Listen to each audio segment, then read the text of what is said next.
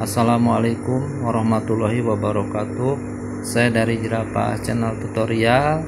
Kali ini akan mempraktekkan bagaimana caranya Untuk membuat kantong tempel yang bagian bawahnya bulat. Mungkin bisa bermanfaat untuk para pemula. Untuk proses pembuatannya ikuti video berikut ini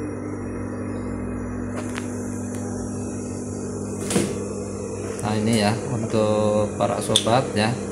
Ini uh, saya udah disediakan ini ya bagian bahannya yang akan ditempel ya bagian kantongnya. Ini bagian kantongnya ya. Nah ini saya buat ukurannya 12 ya 12 cm ke ini lebarnya untuk ke bawahnya. Saya uh, bikin 16 cm ya kita ini dulu ya lipat dulu.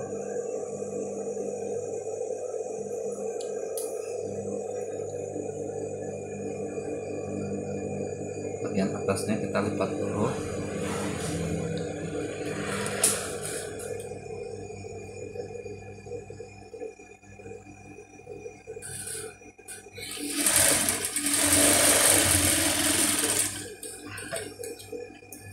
sengaja menggunakan uh, benang yang berbeda ya supaya jelas ya.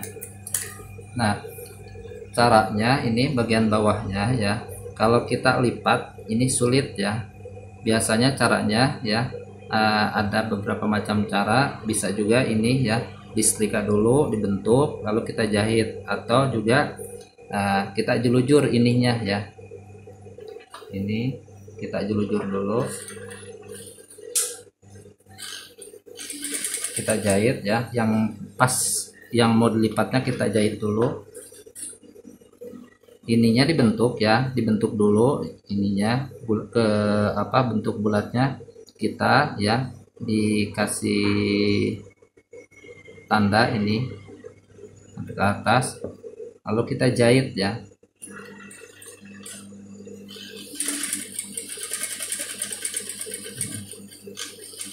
pas ya pas bagian tandanya kita jahit ya.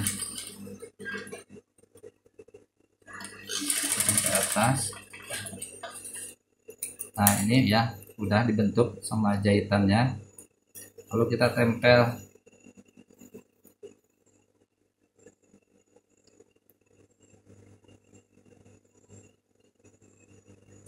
Ini ya bagian jarak atasnya ini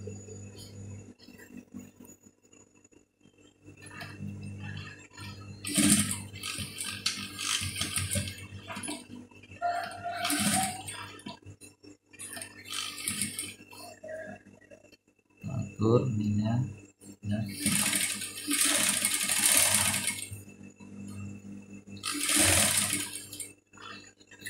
ininya kita ini dulu ya bentuk dulu.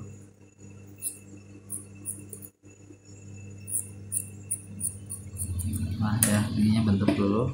Nah lalu kita lipat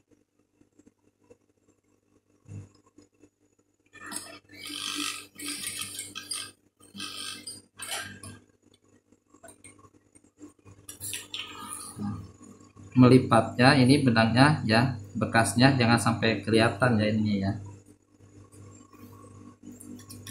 Jangan sampai kelihatan supaya ada di dalam ya pas bolanya itu ya apa jahitannya itu tandanya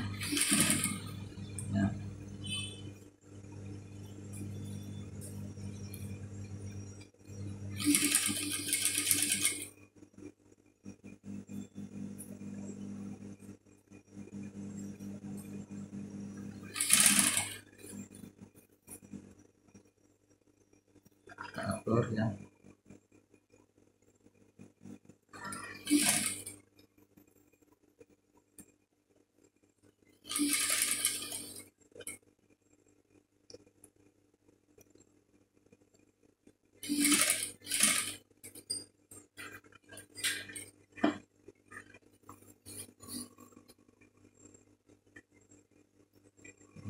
Atasnya ya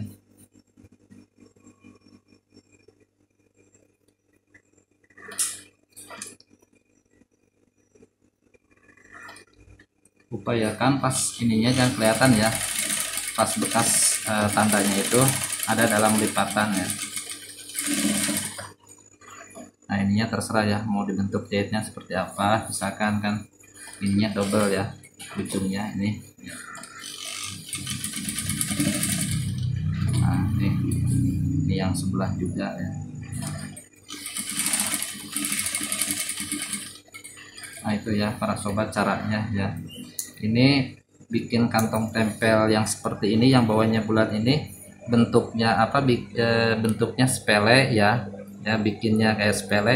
Tapi sebenarnya ininya susahnya luar biasa kalau untuk pemula yang belum tahu triknya ya. Ini bikin gimana caranya supaya ini berbentuk bulat seperti ini ya.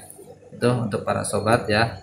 Eh, mohon eh, dukungannya eh, dengan memberikan subscribe ya ke yang belum ke channel ini atau yang sudah memberikan like and share-nya supaya channel ini bisa berkembang Terima kasih, mohon maaf jika ada kata-kata salah.